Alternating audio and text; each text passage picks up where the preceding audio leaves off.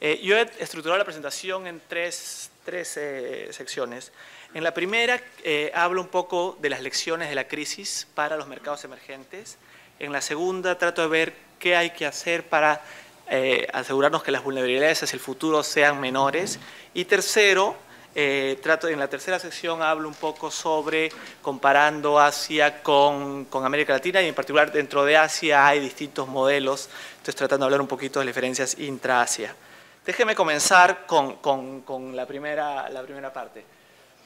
El año 2009 fue un año muy peculiar, porque tuvimos un colapso de la economía mundial, el mayor desde la Segunda Guerra Mundial, pero a diferencia de lo que uno hubiera esperado hace algunos años, digamos, el colapso fue mucho mayor en los países desarrollados que en los países emergentes. ¿No? acá lo que hemos hecho, hemos comparado primero los que llamamos los G4, Europa, eh, Japón, Estados Unidos, Inglaterra. Entre 6 y 8% cayeron, digamos, esto es lo que se llama el output gap, la brecha de producto.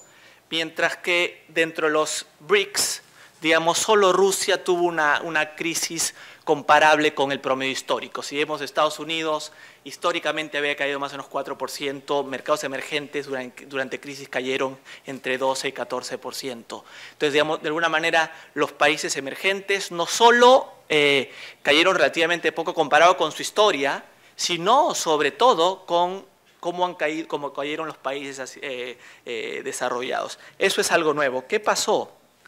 ¿Qué fue diferente? Liliana tocó algunos de los temas.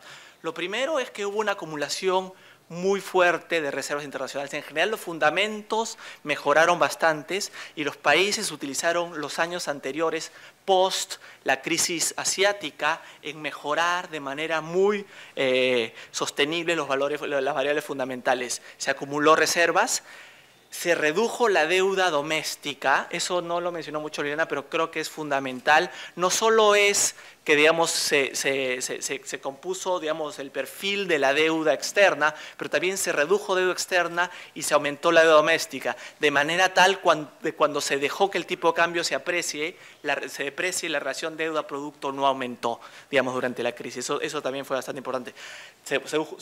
también hubo logros muy importantes en la reducción de inflación y en general fue digamos, años en los cuales se mejoraron mucho eh, las variables fundamentales. Eso permitió hacer lo que por primera vez en la historia de mercados emergentes fue posible, hacer políticas fiscales y monetarias contracíclicas. En el pasado, el mercado forzaba a los países en desarrollo, a los países emergentes, a hacer lo que se llaman políticas procíclicas, que exacerbaban el ciclo, exacerbaban la recesión.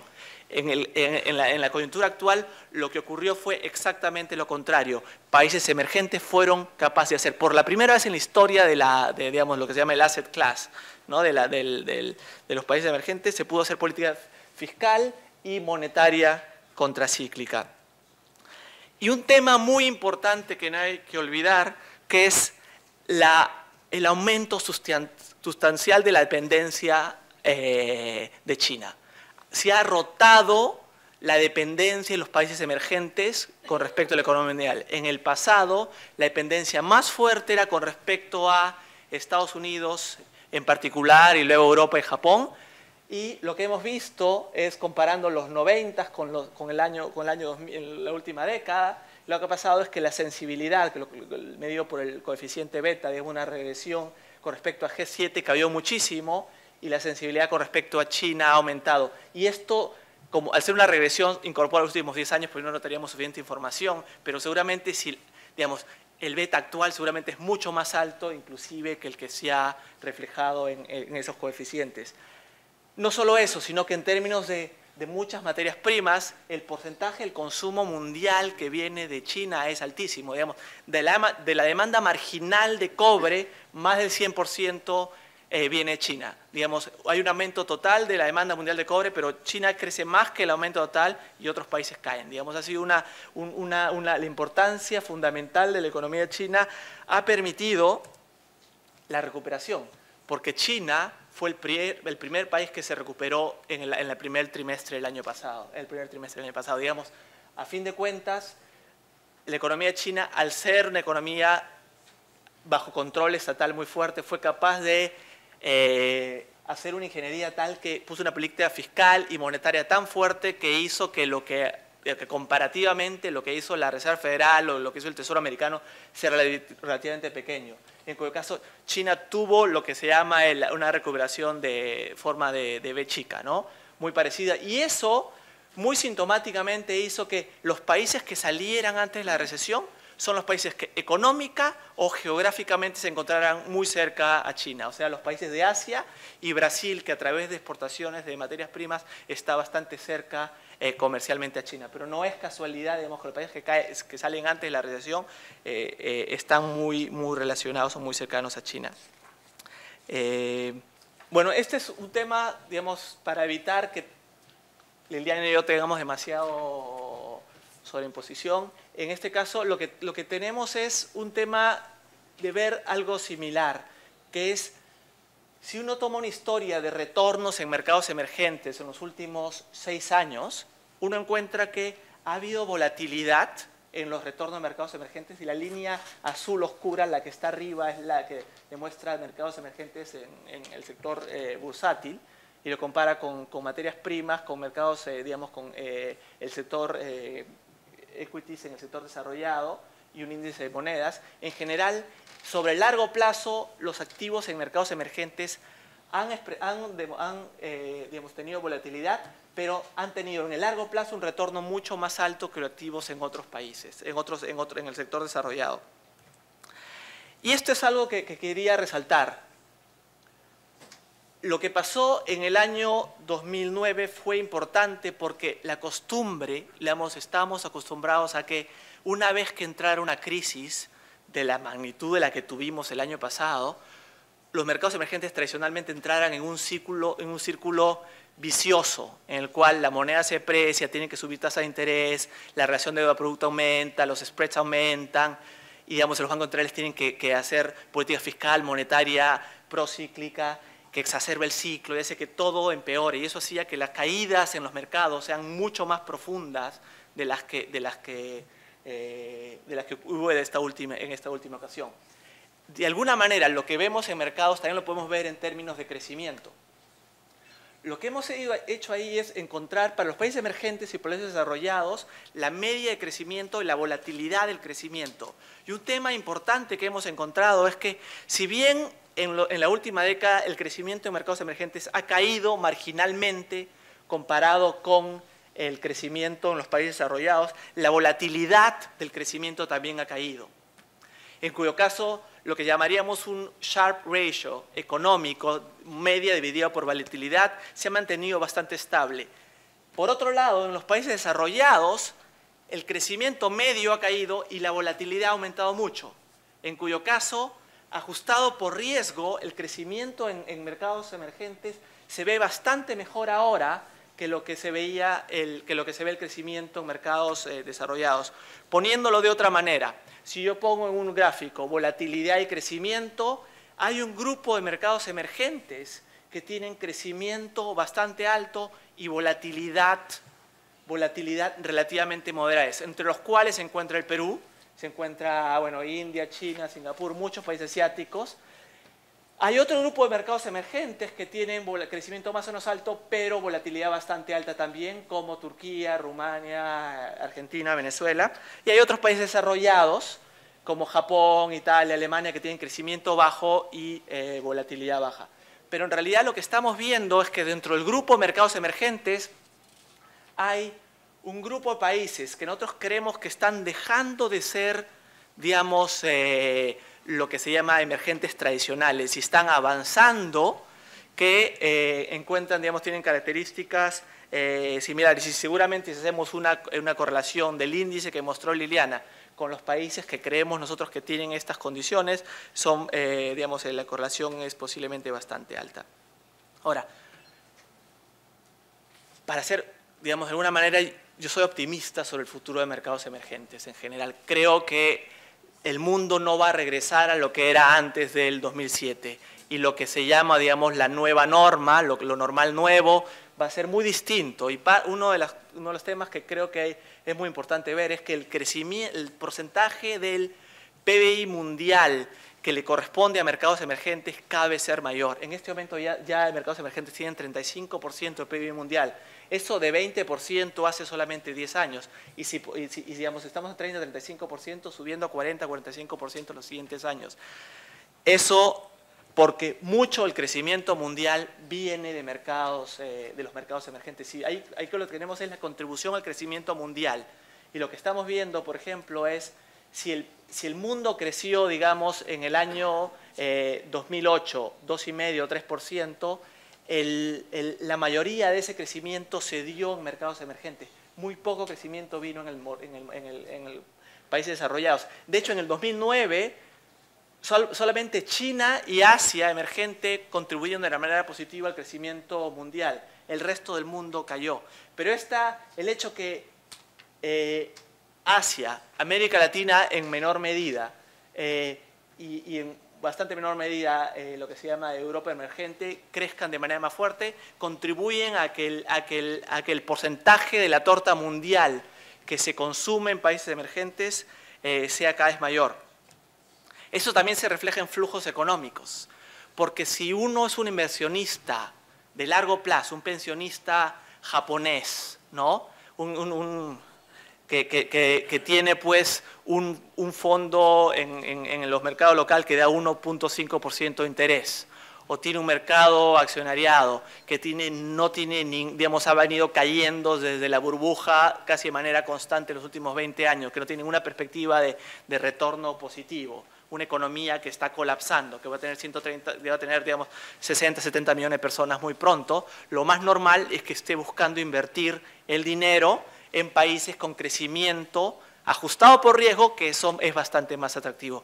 Y eso es lo que estamos viendo. Hemos visto como, por ejemplo, niveles de mercados, hemos visto como muchos flujos financieros nuevos están entrando hacia mercados emergentes. Y esto presenta oportunidades y riesgos, porque hay que saber cómo canalizar y cómo, cómo digamos, adecuar la estructura económica para, para, para ser capaz de de manejar este flujo de capitales que si no es bien manejado puede terminar efectos contra, tener efectos contraproducentes por términos de apreciación cambiaria, eh, por ejemplo. Entonces, una, parte muy, muy, cada vez más grande del, del, del, pastel se lo llevan los mercados emergentes y quería enfatizar en general que creemos en Barclays que esta es una tendencia bastante digamos, eh, sostenible. No creemos que estemos en un proceso en el cual sea China, sea India, eh, estén, digamos, en un proceso, digamos, eh, de crecimiento no sostenible. Más bien creemos que es una, digamos, son, estamos hablando de 20, 30 años, los retos chinos son más bien demográficos, como, como, como, como se habló antes, pero en general estamos en una, en una digamos, situación en la cual los flujos de capitales deberían ser bastante fuertes hacia mercados emergentes. Ahora, creo que es muy importante hacia el futuro entender cómo, digamos, esta es la parte positiva, digamos, creemos que el, futuro es, es, bastante favorable, las perspectivas económicas son bastante favorables para los mercados emergentes que están haciendo, están haciendo sus, sus el, trabajo bien hecho. ¿no? Pero digamos, cómo tratar de asegurarnos que las vulnerabilidades digamos, se vayan reduciendo inclusive más. Un, digamos, algo que ocurrió con la crisis obviamente es que la situación fiscal se ha deteriorado en casi todos los países. No solo porque el déficit fiscal aumentó, sino porque la caída de producto llevó que la relación deuda-producto aumentara de manera, eh, de manera importante. Y el tema que se mencionó antes era cómo muchos países emergentes tienen todavía una dependencia muy alta de eh, precios de materias primas. ¿no?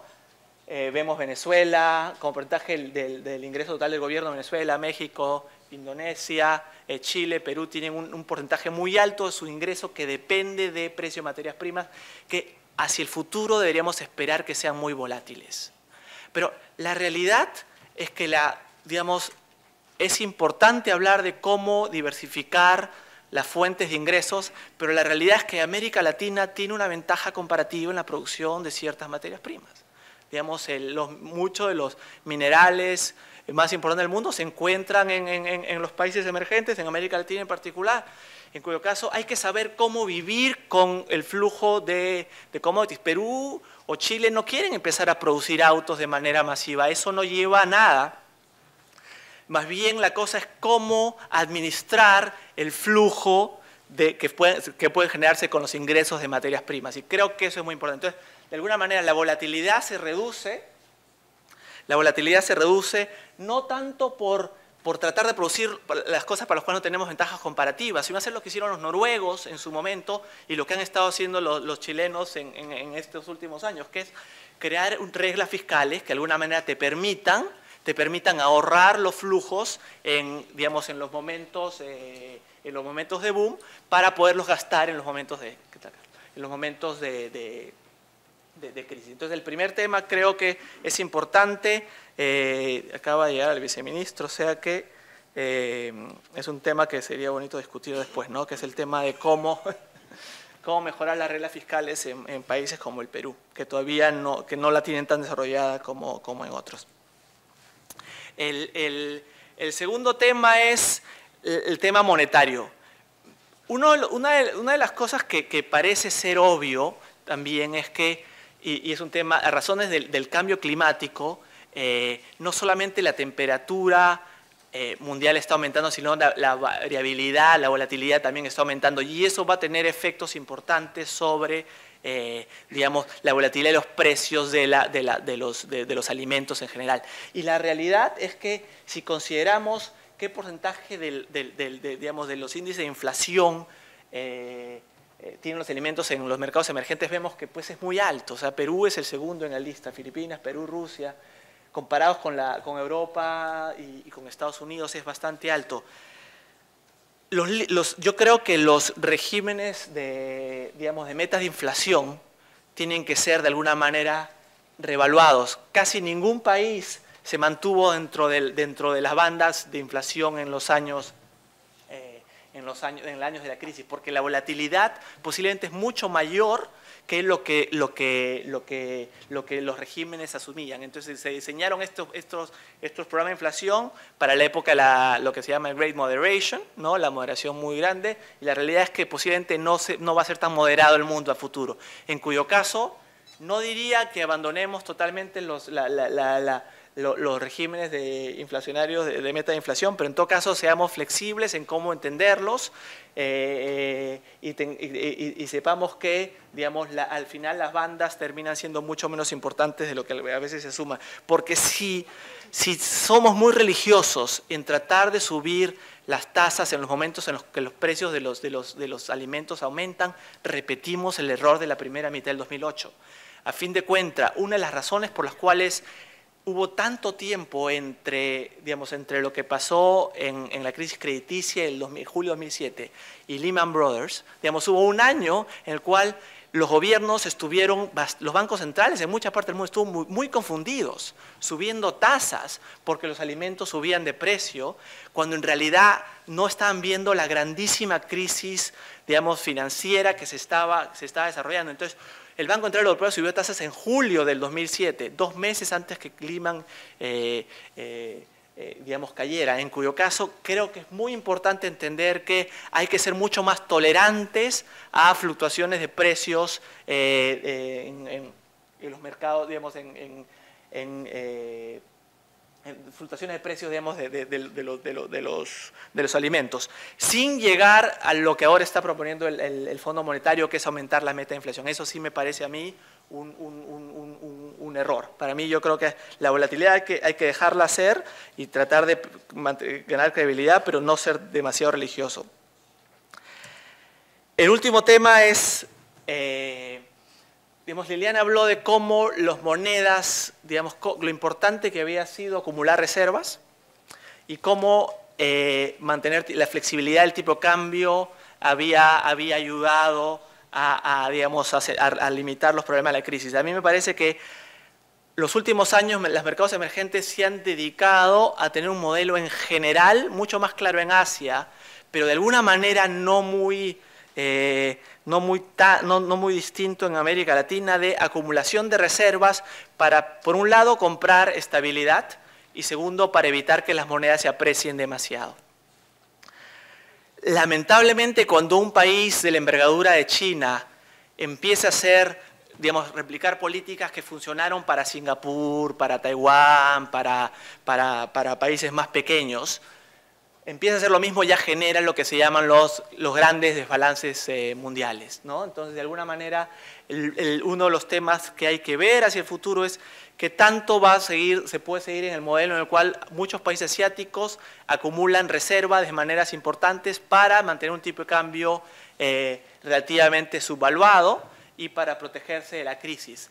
Esto, este tipo de acumulación de reservas, por ambos motivos, que desde un punto de vista de país individual tiene mucho sentido, pero para la economía mundial fueron de alguna manera los que generaron la crisis, eh, digamos, los que exacerbaron en todo caso la crisis financiera el año 2007, hay que, hay que evaluar. Mi impresión es que ya se está dando, a pesar de que mucha gente no lo ve así, ya se está dando un, un digamos, la economía china las economías asiáticas están ya dando un giro, están cambiando el modelo de desarrollo, están de alguna manera aumentando digamos, la importancia del mercado doméstico, aumentando su, inversión y reduciendo el, ahorro, aumentando el consumo, de manera tal que los excesos, digamos, eh, externos que se, que se generaban van a ser menores. Entonces creo que lo que vamos a tener es una compresión de, los excesos eh, externos permanentes.